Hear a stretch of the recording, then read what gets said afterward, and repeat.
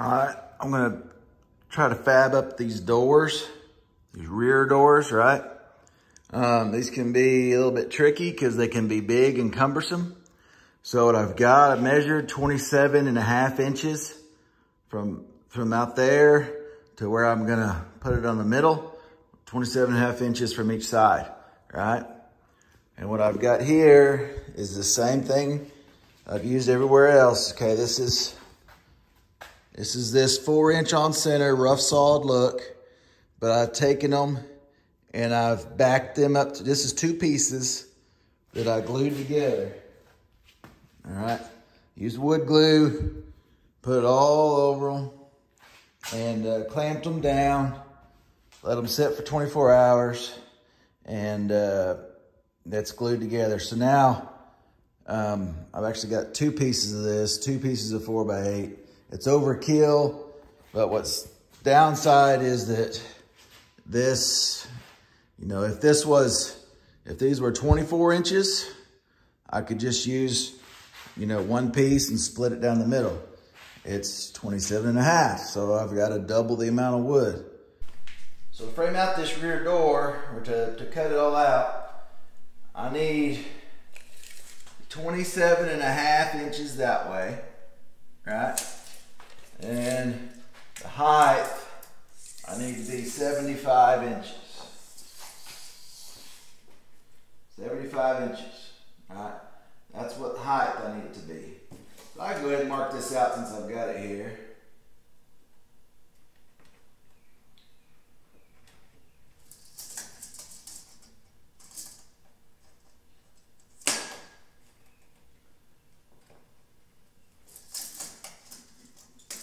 This is not fitting in any kind of super tight quarters. So you don't gotta be, you know, super, super exact.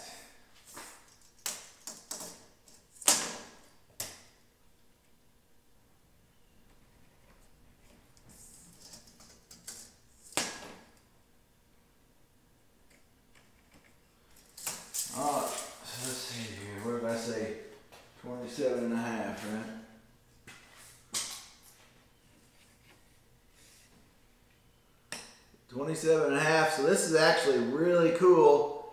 There's a seam here, this bead work that puts me at 27 and a half. So I can just measure down there and see if I'm gonna be the same. If I'm gonna be the same, that makes life easier as far as measuring and all that.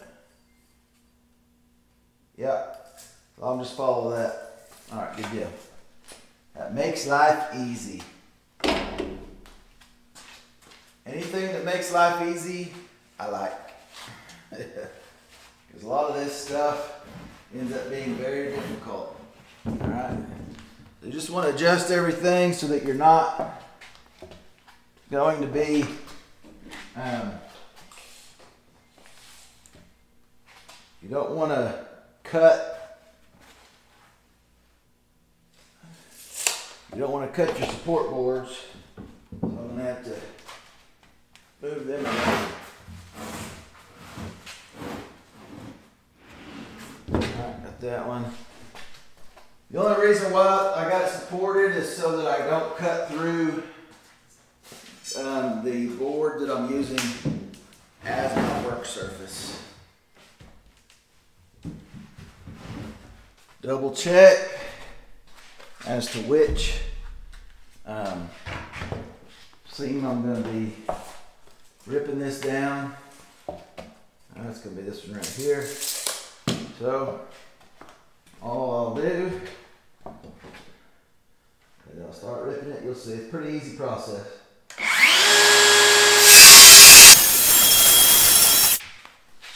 Need to reposition myself. And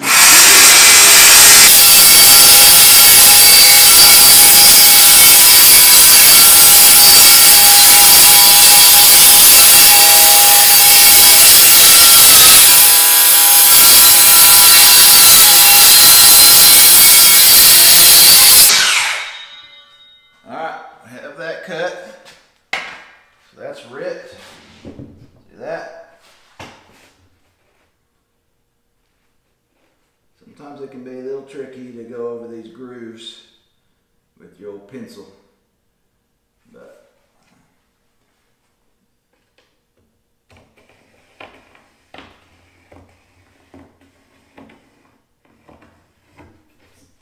there we go.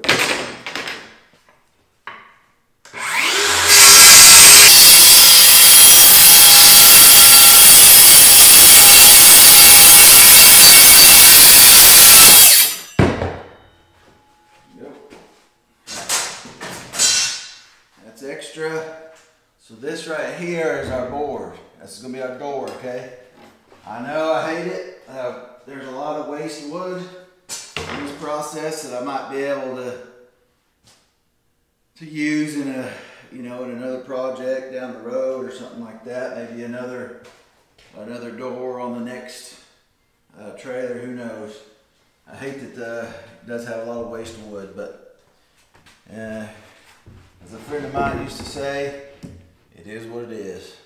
And I'll come back with one by fours and frame this whole thing out on both sides with one by fours. So it's going to be this sandwich in between a one by four frame, if that makes sense. Um, but I will have to um, stain this and and then get it get it all trimmed up. Um, once I get that, I'll show you how to do that. That rough line can be it can be a booger, so we'll try that. All right, some things. You see, I got this formed up there. See that curve? There's a curve behind there that I want to trim up. All right, I got it clamped into place. Now, how do you get it up there? Well, I've got two of the two by tens, the ends of them that I cut off from my floorboards. I got those sitting on top. That's a bucket of kitty litter. All right, you got to do what you got to do, right? All right, so up top here, this is what I'm going to do. This is up top. See how that is? I'm going to put a mark right there coming down so I can trim that up. What that's going to do is allow me to go an eighth of an inch, quarter inch inside that mark um, and cut and trim that up. Um, let me, I might be able to mark it right here. All right.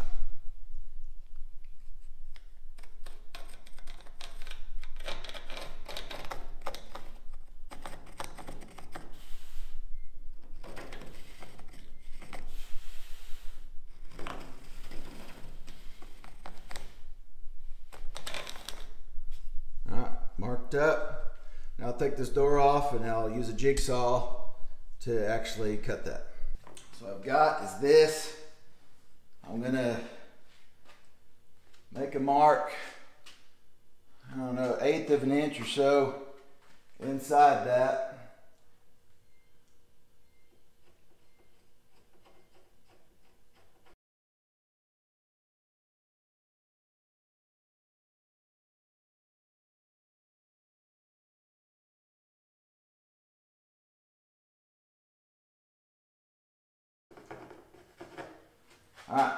So I'm going to cut along that inside one. What I've got is is my jigsaw. I've got a DeWalt. This is a scrolling wood blade. Alright, that's what I've got on there. It allows you to make turn. I mean, you don't have to use that because this is not that sharp of a turn. It's a good idea How's that going?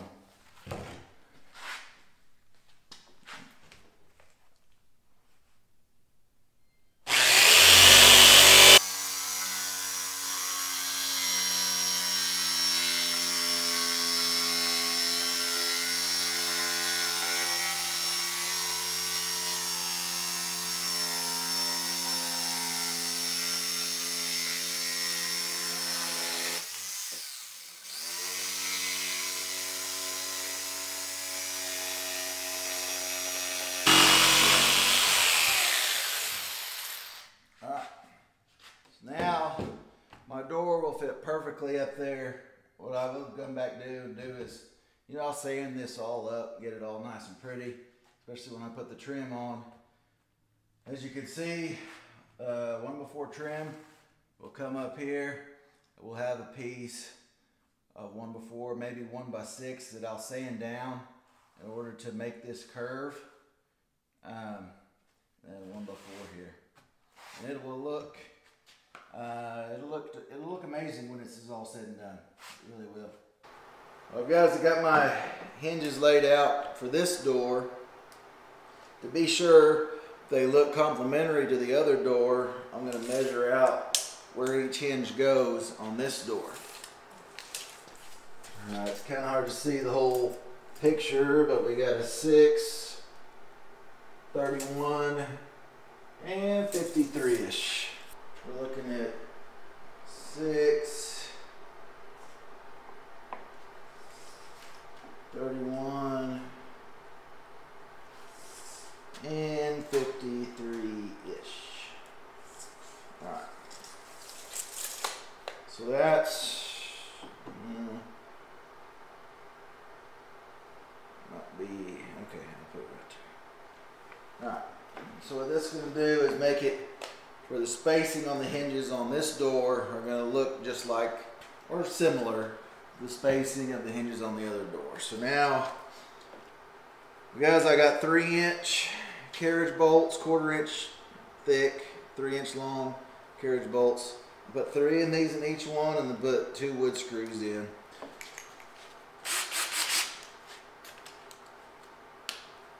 So I'll go ahead and drill. What I do, you know, instead of having it out like that, I flop it down so that it's secure against the, against the edge there. And I'm putting the barrel of that hinge right against the edge too, so it'll be a nice flush fit.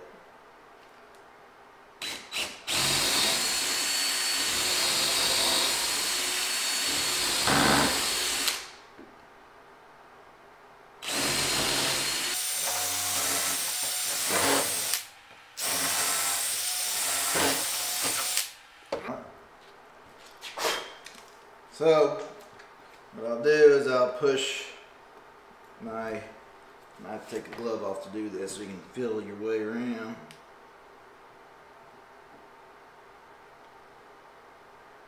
But that's a quarter inch bit. So I'm pushing up quarter inch carriage bolts through a quarter inch hole. Sometimes you might end up with a little bit, be a little bit tight. You have to waller it out a little bit. It's not that big deal.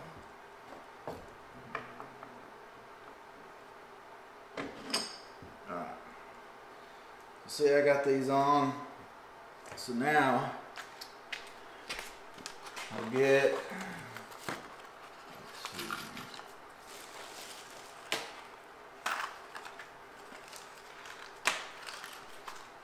Now I'll put on some flat washers.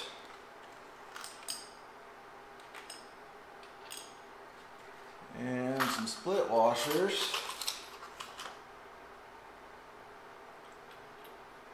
Some people call the split washers lock washers. I, I was always grown up knowing them as lock washers, but this company that makes them call them split washers. I mean, it makes sense too. That's a description that makes sense. And then I got some quarter inch hex nuts to put on there. The only reason why, so what I'm doing is I'm going with the hex nuts first. This, so the shaft on these bolts is, these three inch bolts is a little bit long. It's actually about a quarter inch too long. Well, unless I went to Fastenal or somewhere to order, special order some two and three quarter um, bolts, then I've got to make do with the extra. It's not a big deal. This is how I'm going to do each and every one of them. But I can still, because it will be exposed, I'll go ahead and top them off because I'll have that extra thread sticking out with a acorn nut. which adds a just a, a nice solid finish to it. I mean, clean, uh, elegant, if you want to call it that. Look. All I'm doing is I'm holding the head of that carriage bolt as it gets sucked into the wood. And then it'll hold itself. And go pretty, pretty solid on there. So there's the finish without an acorn nut. There's the finished look with an acorn nut. See, you got thread sticking out, and you got a nice rounded smooth cap. That will also prevent it from snagging on your clothes, ripping your shirt, sleeves, stuff like that. Come with some with wood screws. They actually come with all wood screws. And I'm not going to do that on all of them, but I am going to put two of them in. It's because I like the look of the three carriage bolts. So, and these actually are really good quality wood screws that they've included. I will use them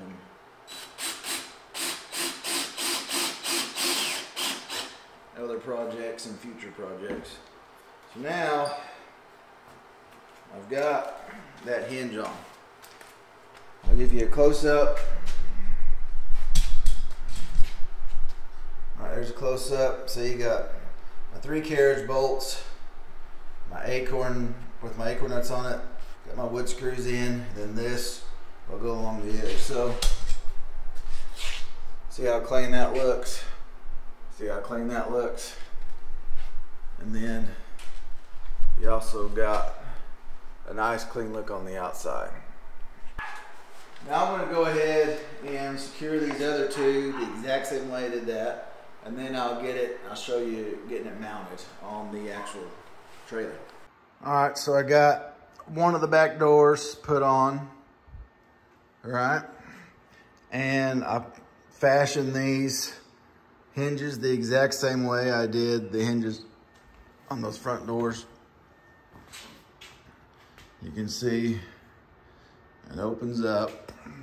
I've got one, two, three hinges all right, now this door is somewhat heavy. So how do I get it in place, right? Well, you'll notice this happens to be my template is a cat litter bucket with two two by 12s on or two by 10s on it. Um, so that's what I did. I put it underneath there, supported my door all right? And then um, I used a level to fashion to be sure it was plumb. And then I secured everything in place, right? And so I'm gonna do the same thing with this other door. I've got it mounted. I've got it clamped in place. You know, I used a level to check and see if it was plumb. And then I've got it spaced pretty good. Um, at least what seems pretty good on that. Let me double check. Yeah, pretty, pretty good. All right, so now what I need to do is I've got these metal screws. Uh, they're flathead, but I'll use the the hex, uh, you know, fitting on it. I'm going to use a 3 16 bit and I'm going to drill a pilot hole for these. These are not these ones are not self-tapping. You can get self-tapping screws, but and so I'm going to drill a pilot hole. Try to get at least one screw in each one of these, um, and then I'm going to drill it in there. I'm going to kind of waller it around a little bit.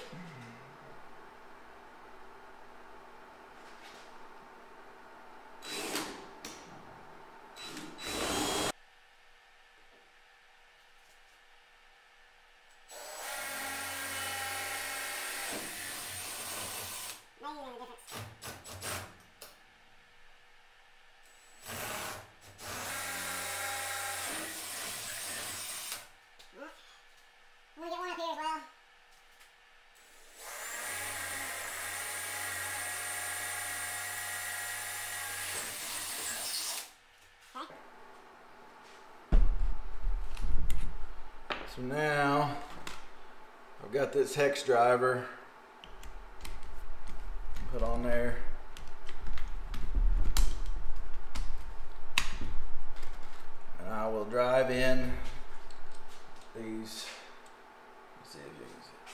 These metal screws, okay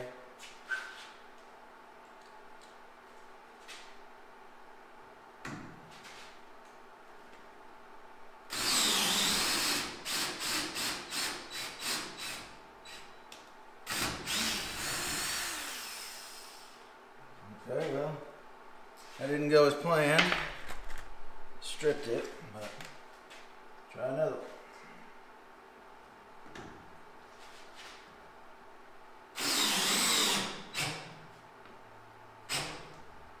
Alright, got that one in. These things can be cantankerous sometimes for sure. A lot of torque involved in these.